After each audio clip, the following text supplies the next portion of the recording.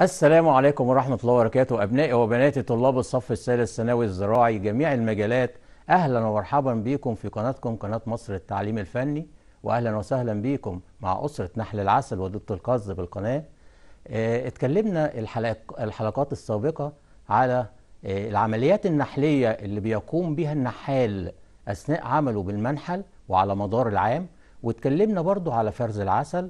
اتكلمنا على مراجعة عامة على اللي انت درسته في الصف الثاني الثانوي.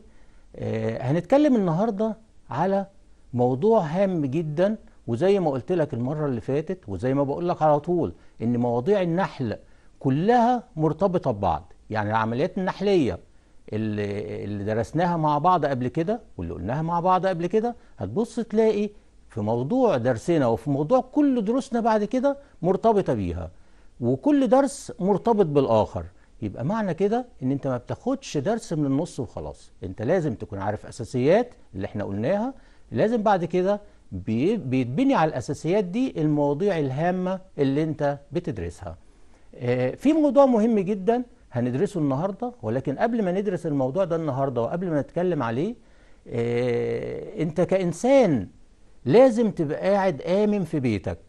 يعني إذا دخل عليك عدو في بيتك إذا دخل عليك آه، حد في بيتك هيخرب بيتك آه، هي هياكل هيتغذى على الطعام بتاعك اللي موجود في بيتك وأنت مش هتلاقي مكان تنام فيه ولا مكان تقعد فيه آه، ولا أكل تتغذى عليه. إيه اللي هيحصل ليك على طول؟ اللي هيحصل ليك على طول؟ إن أنت هتسيب له البيت كله وتمشي.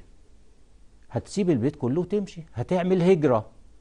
طيب ده برضو اللي بيحصل في النحل. يبقى في الحالة دي إن الإنسان اللي دخل عليك في البيت ده وعمل ده كله في بيتك ده بسميه عدو ليك بسميه عدو ليك. زي ما في عدو ليك وممكن يعمل كل الحاجات دي في عدو للنحل برضو أو في أعداء للنحل ممكن تعمل الحاجات دي برضو. ده موضوع درسنا النهاردة وهو أعداء النحل. إيه هي الحاجات اللي بتضر النحل؟ إيه هي الكائنات الحية اللي بتضر النحل؟ مش شرط حشرات لأ. ممكن تكون آفات حشرية وعندما أقول آفات يبقى مش مش مش معنى آفات يعني حشرات. آفات يعني هي الكائن الحي الذي يسبب ضرر بيولوجي في الكائن الحي الآخر. طيب الآفات بتاعت النحل أو بسميها أعداء النحل اللي بتضر النحل في آفات حشرية وفي آفات غير حشرية. هنتكلم النهاردة على أو هنتكلم دلوقتي على الآفات الحشرية. أول آفة من الآفات الحشرية دي وهي دبور البلح. لو افتكرت إن في العمليات النحلية اللي قلناها اللي بت ال- ال- النحال بيعملها في منحله قلنا إن بيفضل يكافح دبور البلح. لأن هو العدو اللدود بتاع النحل يعني ال- ال- ال- الملكة بتظهر في شهر ثلاثة أو في آخر اتنين وبتفضل مستمرة معاك لحد شهر 11 يبقى حوالي 8 شهور أو 9 شهور بيفضل الدبور البلح ده آه، بيفضل ليه أثر غير جيد على النحل إيه دبور البلح شكله قدامك اهو. دبور البلح ده وصفه اللي بيكون أحمر اللون وبتكون عليه بعض الأشرطة والبقع الصفراء. بيكون طول الملكة 3.5 سنتي بيكون طول الذكر 3 سنتي بيكون طول الشغالة 2.5 سنتي. ده دبور البلح. طيب إيه ضرره؟ دبور البلح. وبيظهر إمتى دبور البلح؟ لازم عشان تعرف العدو بتاعك ولازم عشان تأمن من خطر العدو بتاعك لازم تدرس ولازم تكون عارف تاريخ حياته وتطور حياته. طبعا دبور البلح لما جيت أنا قلت لك في إنشاء المناحل في سنة تانية قلت لك لازم يبعد المنحل بتاعك عن مزارع النخيل. ليه؟ عشان دبور البلح. لأن دب... من اسمه كده دبور بلح يبقى العائل الاساسي بتاعه هو البلح. يبقى انت ما ينفعش ان انت تعمل المنحل بتاعك جنب مزارع نخيل. ليه؟ لأن انت كده كأنك قدمت لدبور البلح وجبة هنية دسمة اللي هي النحل. طيب دبور البلح ده آه، بتخرج الملكة بتاعتها في بداية فصل الربيع. يبقى في آخر شهر اتنين وفي شهر تلاتة. بتخرج الملكة من البيات الشتوي اللي هي كانت فيه. يبقى الملكة في نهاية شهر 11 بتعمل بيات شتوي. بتخرج في فصل الربيع. بتدخل بتخرج بتعمل إيه؟ بتحاول الملكة تبني البيت بتاعها أو تبني المستعمرة أو العش بتاعها. بتعمل إزاي؟ بتاخد بتبني العش بتاعها بواسطة الطين والأوراق اللي هي موجودة أوراق الشجر. بتفرز عليهم مادة لعابية بتخليهم زي العجينة كده وبتبني بيها عيون سداسية. بتبني أول دور أول طابق من البيت بتبني آه، الملكة هي اللي بتبنيه. وبتبيض في أول طابق ده البيضة بتاعة دبور البلح أول ما بتفقس بيطلع منها يرقة وبتتحول بعد كده إلى حشرة كاملة.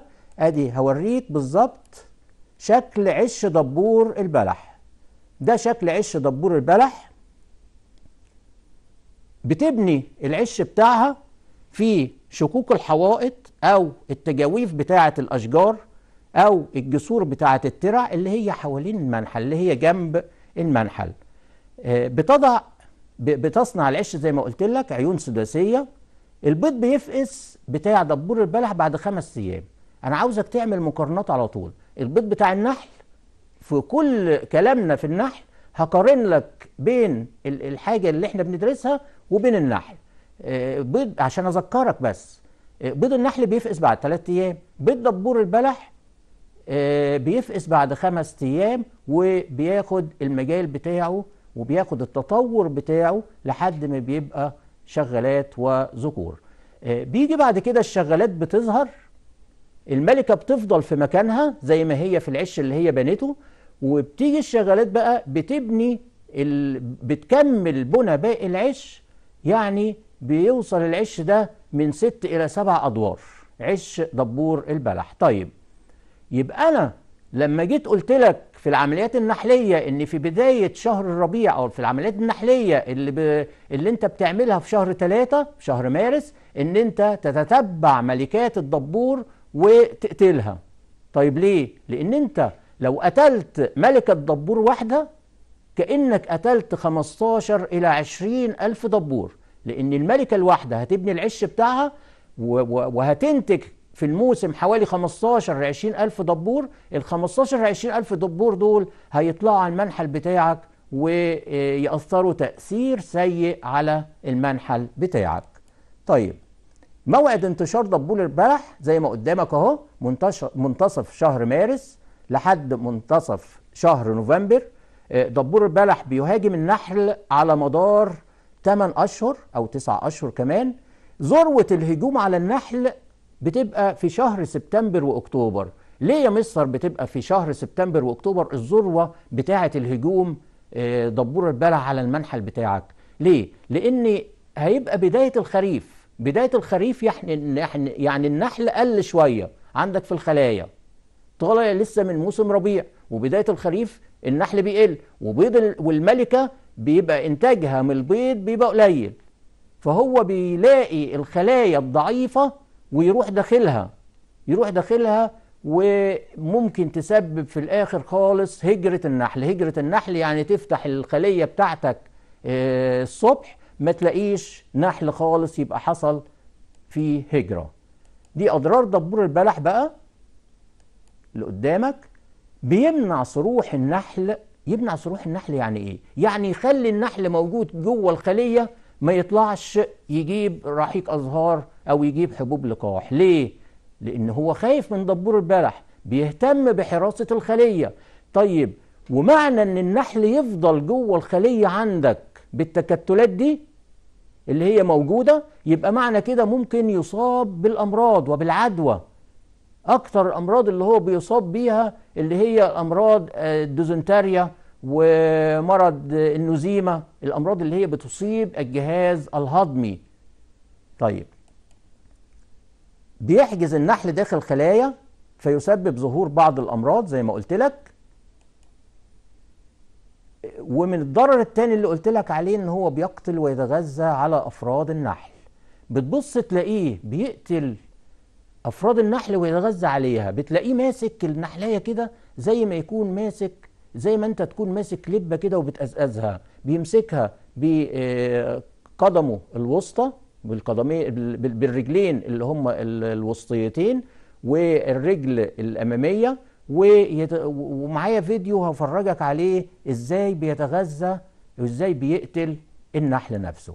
انخفاض نسبة نجاح تلقيح الملكات لأن هو لما يظهر الملكة تظهر في الربيع الملكات بتلقح إمتى؟ بتلقح في الربيع وبتلقح برضه في ملكات بتلقح في شهر تسعة. عندما بتطلع الملكة عشان التلقيح دبور البلح بيقابلها ويلتهمها. يبقى كده فشل تلقيح الملكة وفشلت رجوع الملكة لخليتها تاني. يبقى معنى كده الخلية بتاعتك لازم تشتغل فيها من جديد.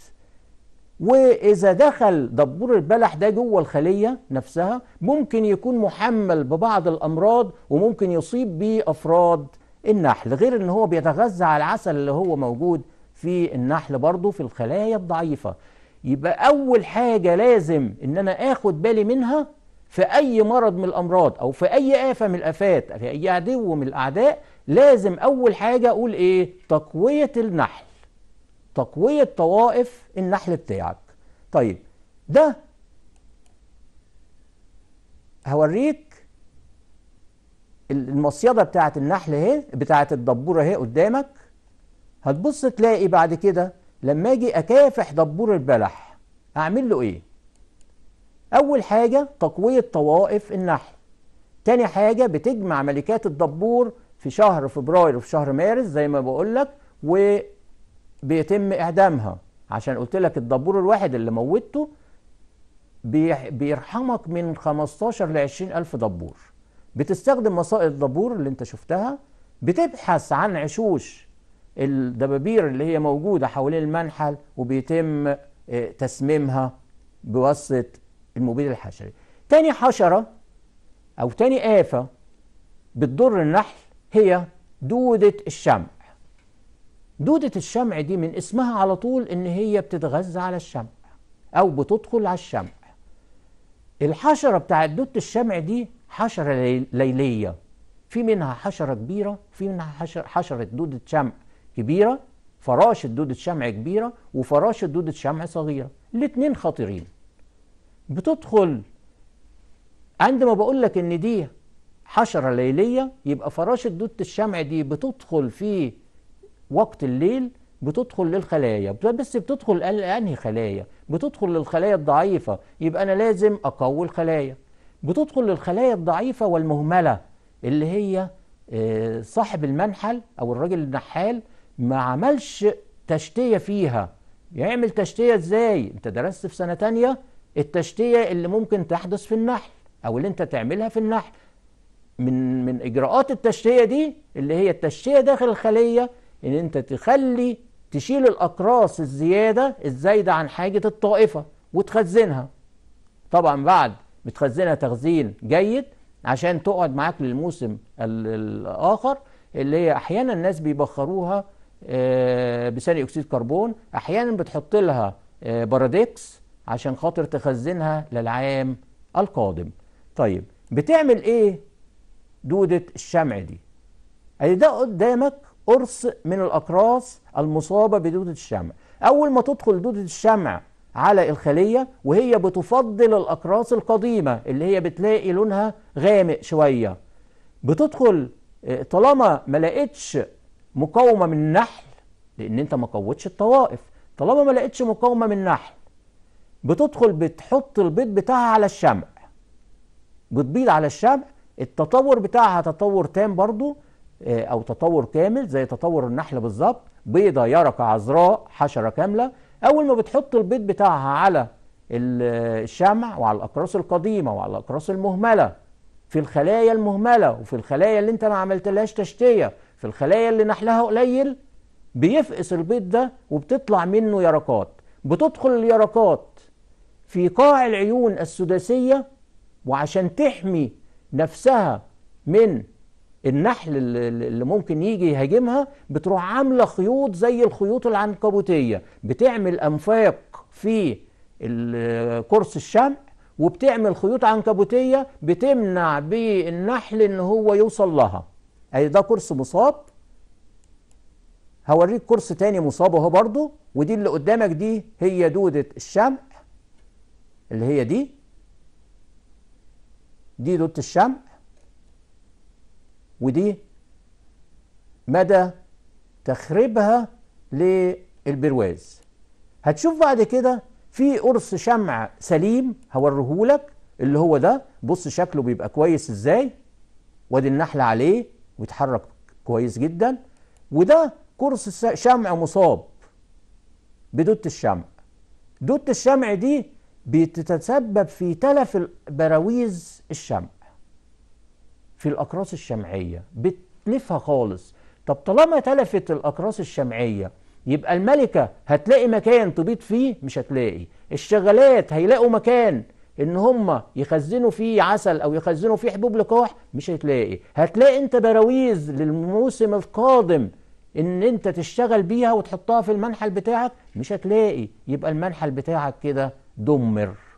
طيب يبقى عشان ادي دي اضرار دودة الشمع تلف الاقراص الشمعية اعاقه حركة وعمل النحل داخل الخلية عند شدة الإصابة زي ما قلت لك لما بيشد الإصابة داخل بيت الإنسان وتشد ال- الخطر داخل بيت الإنسان بيسيب البيت للناس اللي بيعملوا له خطر وبيمشي بره البيت خالص. النحل برضو كده بتشتد الإصابة ومش لاقي مكان أساسا يقعد فيه ومش لاقي مكان الملكه تبيض فيه ومش لاقي مكان يخزن فيه عسل ولا يخزن فيه حبوب لقاح يبقى بيسيب الخلية وبيعمل هجرة. والهجرة إن هو بياخد أفراد النحل كلها وبتمشي الملكة بتشوف مكان تاني ممكن تستقر فيه.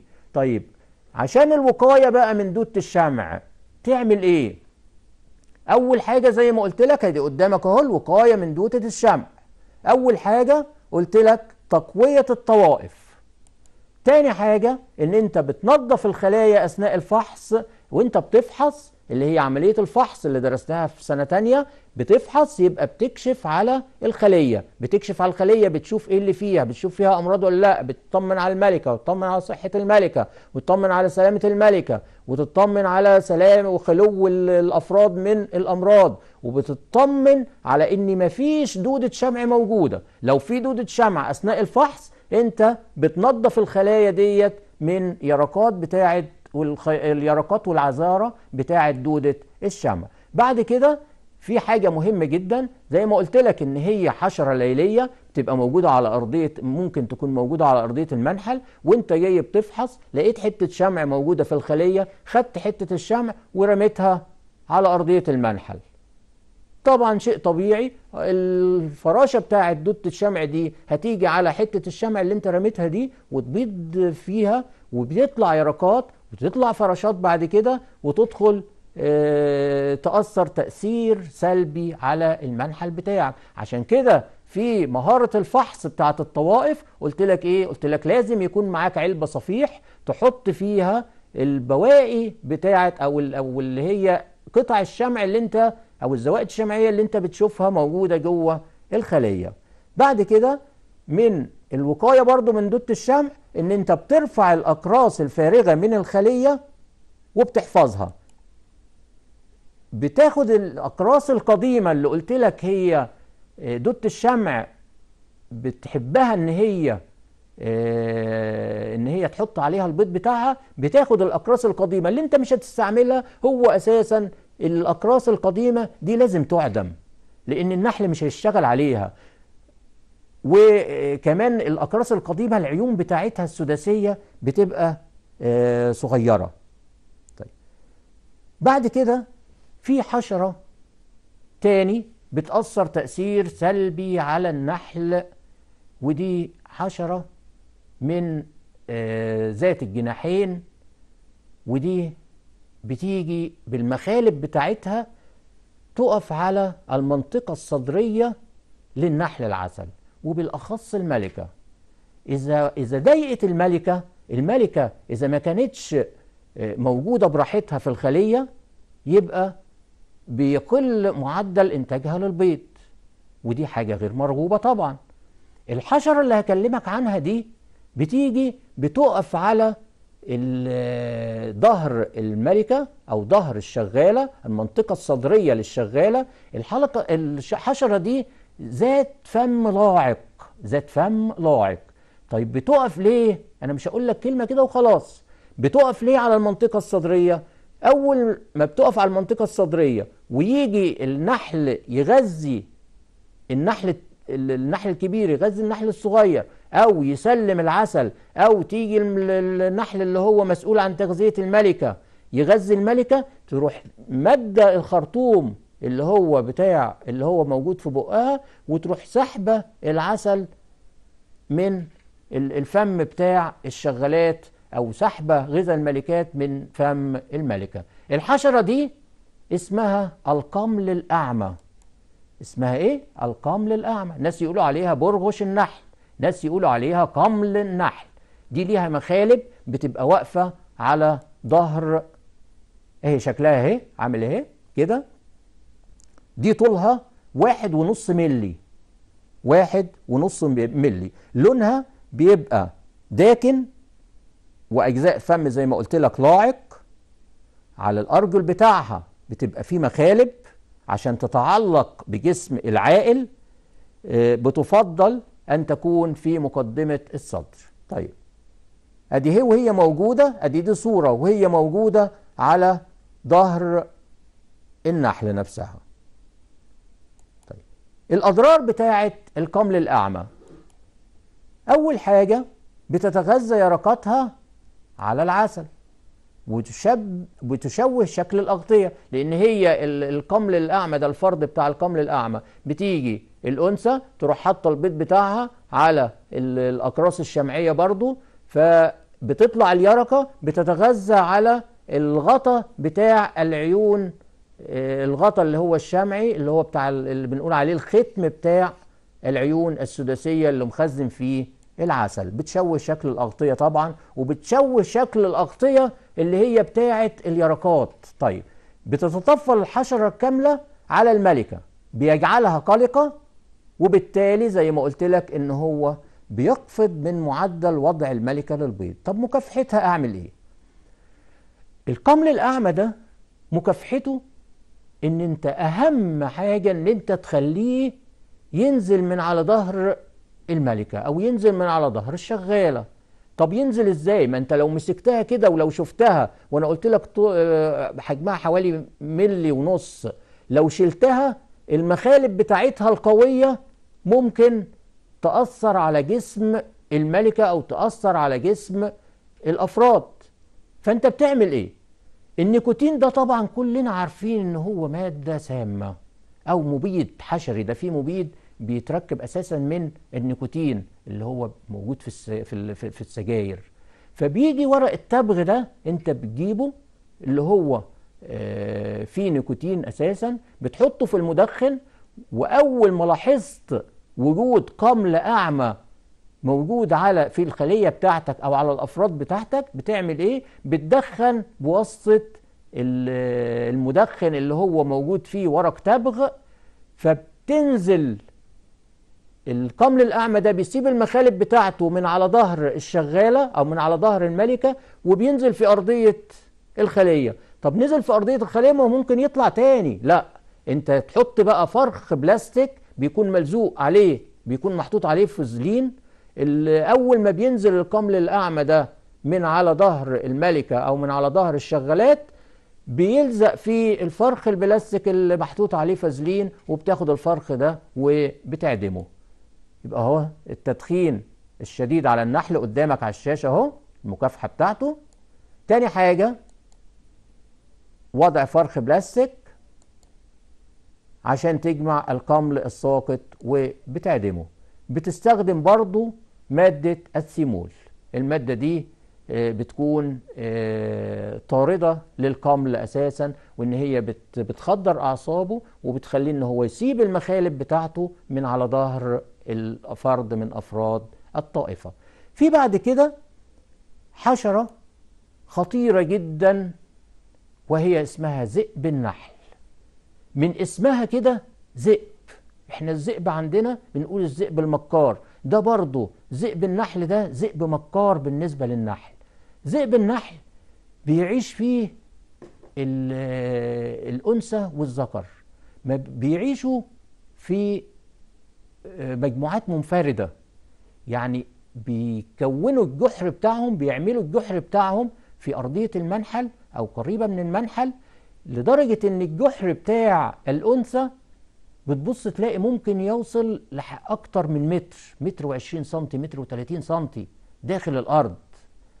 الذكر مختص بحاجة بتاع ذئب النحل والأنثى مختصة بحاجة. الذكر مختص إن هو يقف ينافس الشغالات شغالات النحل وهم بياخدوا رحيق الأزهار من على الزهرة وياخد رحيق الأزهار ويزاحمهم في أخذ رحيق الأزهار. طيب الأنثى بتاعت ذئب النحل دي أنا قلت لك بكارة شوية تعمل إيه؟ هي مختصة باقتناص أفراد النحل. طب بتقتنص أفراد النحل إزاي؟ أول حاجة بتجيلها في المنطقة الأمامية وتروح ماسكاها.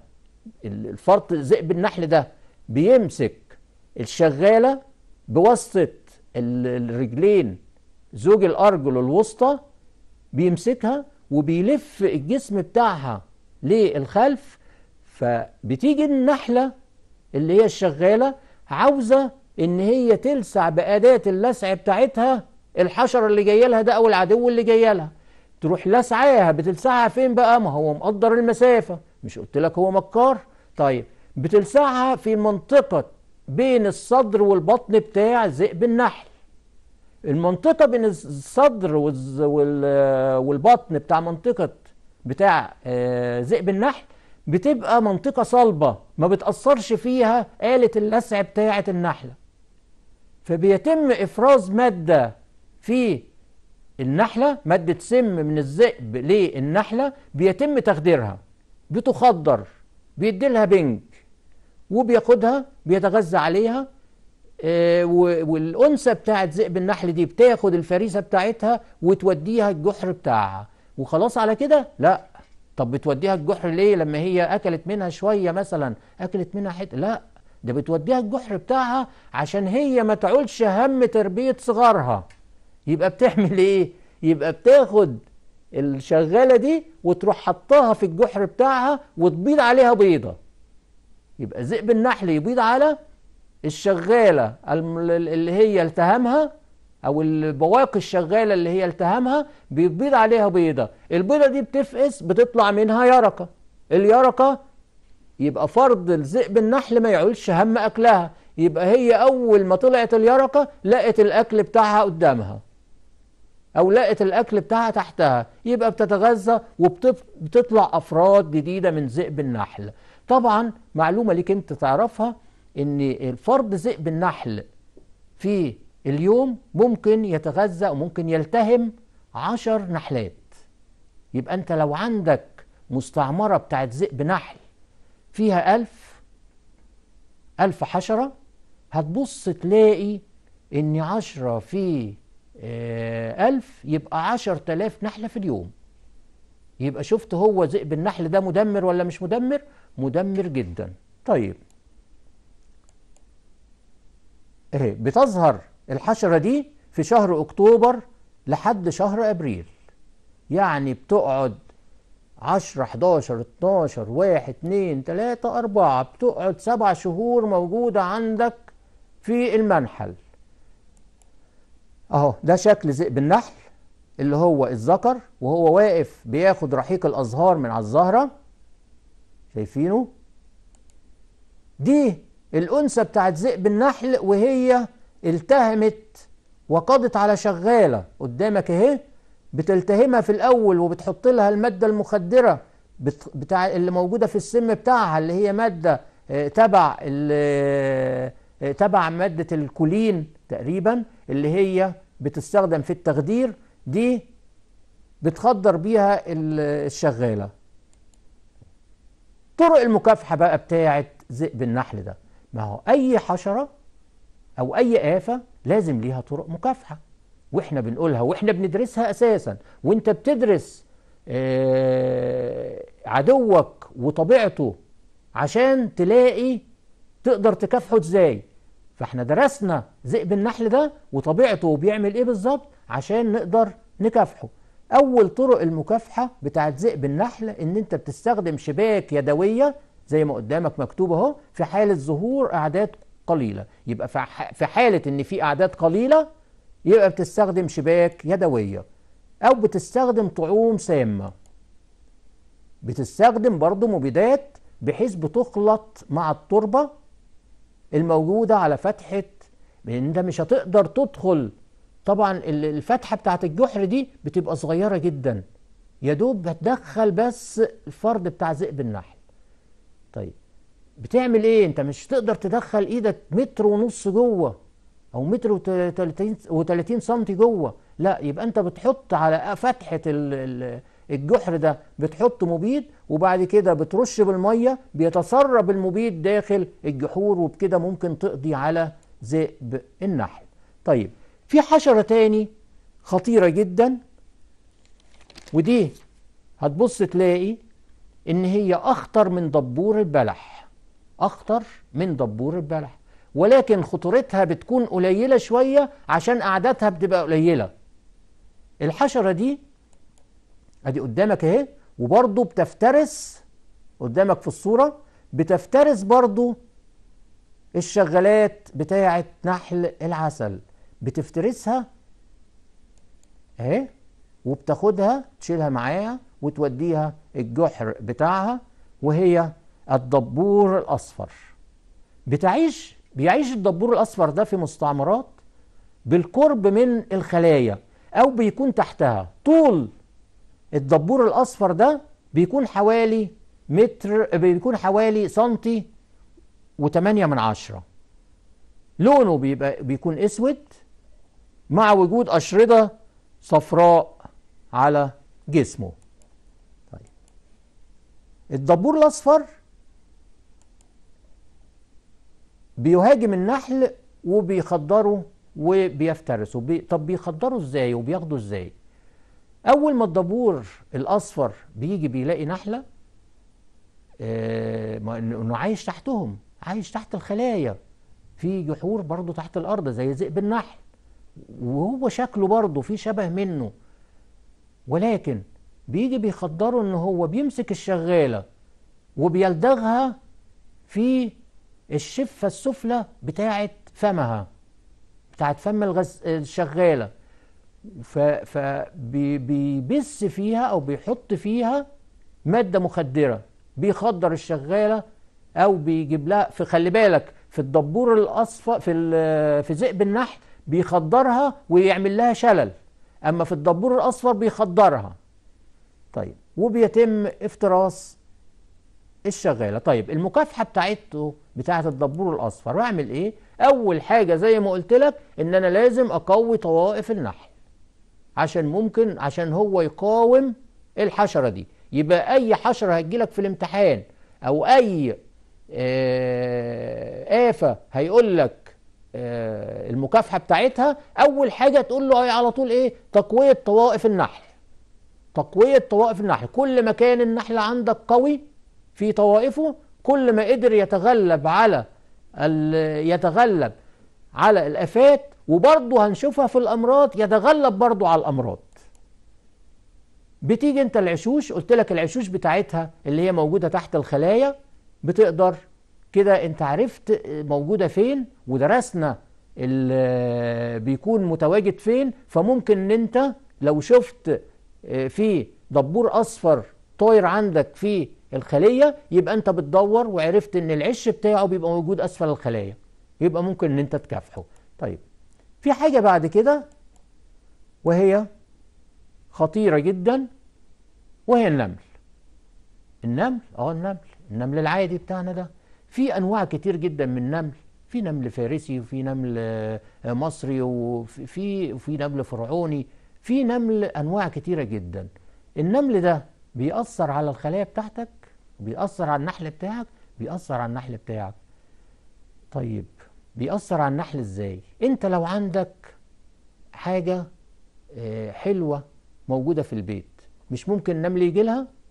طب لما عندك أنت خلية مليانة عسل يبقى النملة هيجي لها ولا مش هيجي لها؟ يبقى النملة هيجي لها. طيب أدي النمل أضراره سرقة المخزون الغذائي لطوائف النحل. برضه الهجوم الشديد بتاع النمل لما الخلية تتملي نملة عندك ممكن يتسبب في هجرة النحل. المقاومة بتاعت النمل إيه؟ المقاومة بتاعت النمل إن أنت تشوف الجحور بتاعت النمل وبتغمرها بالكيروسين عشان خاطر تقضي عليه. وفي حاجة تانية مهمة جدا وهي إن أنت رجل الخلايا نفسها بتحط بتحطها في أواني فخارية زي المواجير صغيرة كده فخارية بتحط فيها كيروسين أو زيت زيت رجوع زي ما بيقولوا. عشان النملة مش هتنط من الأرض وتطلع على طول على الخلية ده لازم بتمشي وتيجي تمشي عشان تطلع على رجل الخلية تروح واقعة في الأواني الفخارية اللي بيها مية وكيروسين أو زيت رجوع. يبقى هو ده النمل. طيب يبقى دي الآفات الحشرية. الآفات الحشرية. طيب في آفات غير حشرية؟ أيوة في آفات غير حشرية بتسبب أضرار بالغة بالنسبة للنحل. أول آفات الغير حشرية طائر جميل جدا كده اسمه الوروار اسمه إيه؟ اسمه الوروار طيب الوروار ده طائر صغير كده وشكله حلو آه الريش بتاعه ملون آه منقاره بيكون طويل شوية آه ليه الديل بتاعه ليه آه آه ريشتين كده من ورا شكله ظريف قوي شكله حلو قوي الطائر ده بي بيهاجر لأوروبا من أوروبا وإلى أوروبا. بيجي في مصر هنا مرتين في السنة. بيجي في شهر أربعة في موسم الربيع وبيجي في شهر تسعة وهو راجع بعد ما خلص رحلته. يبقى هو بيمشي في أسراب كبيرة جدا أسراب الطيور. أول ما بيحس طائر الوروار ده إن فيه منحل تحتيه أو بيعرف إن فيه نحل في في المنطقة اللي هو طاير عليها بيقف عند الحتة دي عند النحل وبيتغذى. يعني ممكن الطائر الواحد بس يتغذى على سبعين نحلة في اليوم. ممكن يتغذى على سبعين نحلة في اليوم. وبيجي بقى المشكلة كلها إن هو بيجي إمتى؟ بيجي في موسم التلقيح بتاع الملكات. يبقى في شهر أربعة بيتم تلقيح الملكات وفي شهر تسعة زي ما قلت لك بيتم تلقيح للملكات يبقى بينقي الملكات وهي طالعة تتلقح في الهواء وأنت عارف طبعا الملكات بتلقح موسم التزاوج بتاعها بيبقى في الوقت ده وعند ما بتيجي تتلقح تتلقح في الهواء الطلق بيجي بينقي الملكات ويروح متغذي عليها. شوف بقى لما الطائر الواحد لما سرب يبقى مثلا آه 3000 طائر أو 5000 طائر. لما كل طائر واحد بس يتغذى أو يأكل أو يلتهم 70 نحلة شوف المنحل بتاعك بيبقى إيه. النحل بيبقى عارف كده أهو شكل الورور هوريهولك. أهو بص قدامك على الصورة أهو. شكله ظريف وجميل جدا. شكله زي العصفورة اللي هي عصافير الزينة اللي هي بت بتقتنيها في البيت. أهو شكله جميل ولكن النحل عارفه بصوته. طيب الطائر الوروار ده في منه أشكال وفي منه أنواع. في طائر الوروار ده الأوروبي اللي هو قدامك في طائر الوروار الشرقي اللي هو ده ما بيبقاش ملون زي الأولاني. أول ما النحل بيسمع صوته أول ما النحل بيسمع صوته بيفضل جوه الخلية ما يتحركش لأن هو عارف. فهو مش هيقدر يدخل الخلية ولكن بينتظر على الشجر اللي هو حوالين المنحل بتاعك وبيفضل أول ما يطلع النحل يفترسه ويتغذى عليه. وهو النحل ده أكلة دسمة وأكلة حلوة جدا بالنسبة ليه وهو بيستنى في المنحل لحد ما يلاقي إن عدم صروح النحل يبقى هو بيمشي بعد كده وبيكمل طريق رحلته. آه طيب. عدم صروح النحل ده في حد ذاته ليه خطرين عشان تبقى عارف. عدم صروح النحل وكتمة النحل جوه الخلية بيبقى ضرره. أول حاجة إن هو بيصاب النحل بالأمراض بيتعدي النحل من بعض بيصاب بالأمراض لأن كمان ما طلعش جاب مية من بره نظيفة واللي موجود عنده جوه ممكن فممكن يصاب بأمراض.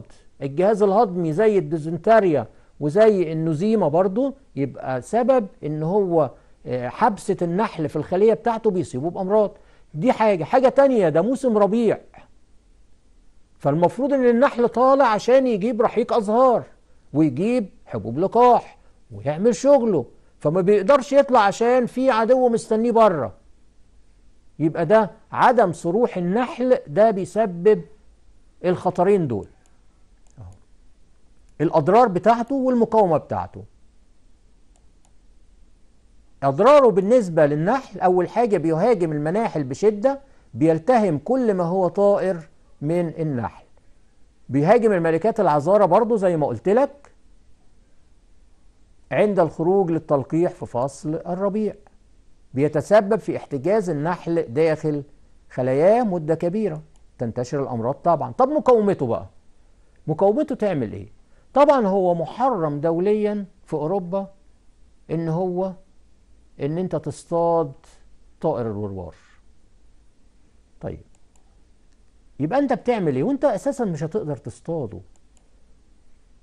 بتطلق أعيرة نارية زي الأعيرة الفشنك دي اللي بيقولوا عليها بتطلقها في الهواء فالوروار بيفر بعيد عن المنحل أنت ما فيش قدامك إلا كده. ما أنت مش هتقدر تطير ورا الطائر ده وتمسكه وتقبض عليه. لا مش هتقدر. يبقى بتحاول تهججه عو... بتحاول تمشيه بعيد عن المنحل بتاعك بتطلق الأعيرة النارية أو بتستعمل الأفراخ المعدنية اللامعة. الفرخ المعدني اللامع ده بتستعمله إن هو بتعكس أشعة الشمس بيه على أعين الوروار على العين بتاعة الوروار فالوروار ما بيقدرش يشوف المنحل بتاعك وما يقدرش والعكس الأشعة الضوئية أشعة الشمس على عين الوروار ده بتخليه إن هو دي حاجة بتضايقه فبتخليه إن هو يمشي بعيد عن المنحل بتاعك بتأثر على تركيزه طبعا. في مناحل تاني يجيب أولاد صغيرين ويروح جايب صفيح ويعمل أصوات مزعجة على الصفيح يخبط على الصفيح اللي هو تحت تحت المنحل كده فبيعمل أصوات مزعجة بيزعج الوروار وبيخليه يمشي بعيد عن المنحل بتاعك. طيب في حشرة تاني أو في آفة تاني من الآفات الغير حشرية اللي هي بتسبب ضرر للنحل بتاعك وهي الفئران. طيب الفئران دي كلنا عارفينها.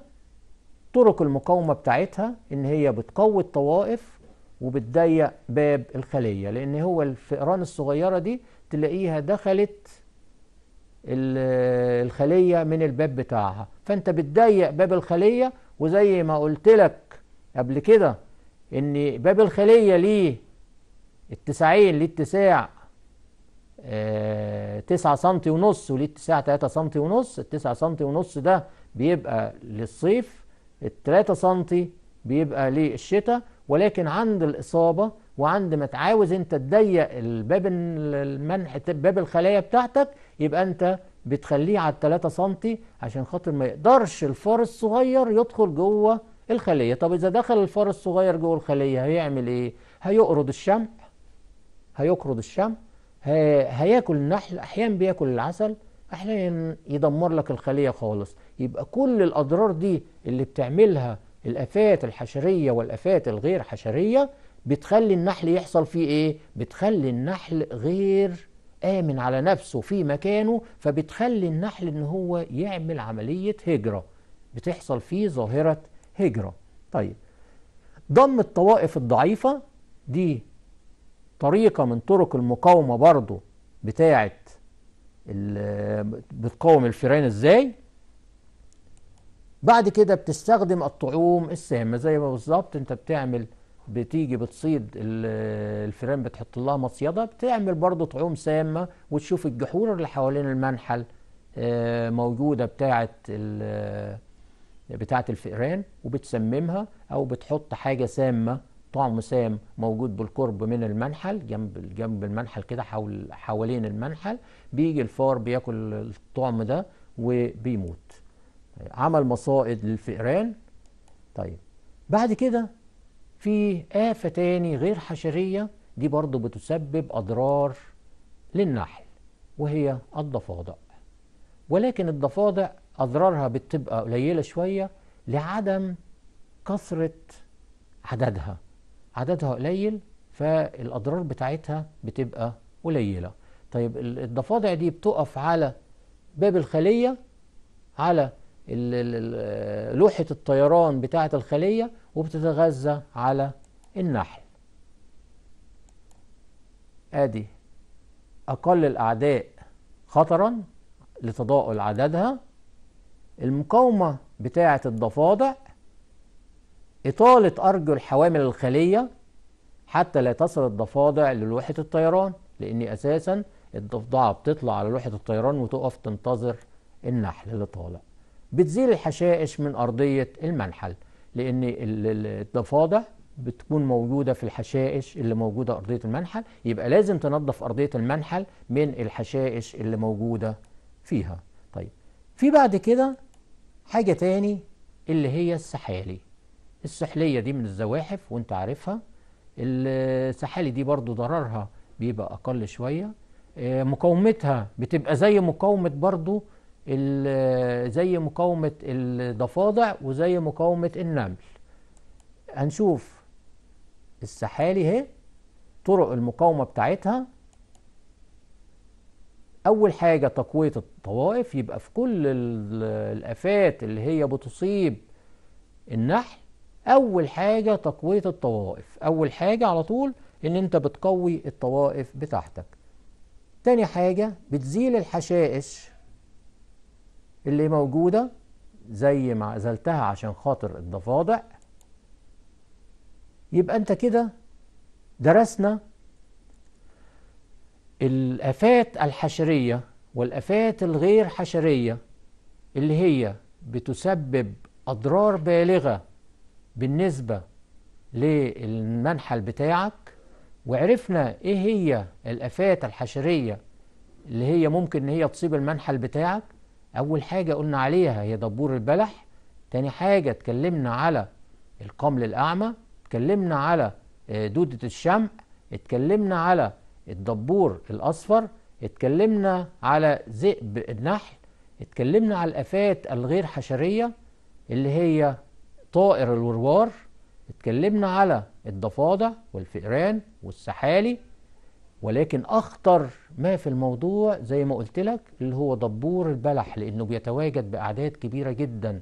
وفي كل عملية من عمليات النحلية اللي هي بتقام على مدار الأشهر قلت لك لازم تقاوم دبور البلح. لازم تقاوم دبور البلح لأن دبور البلح ده العدو اللدود للنحل زي ما قلت لك.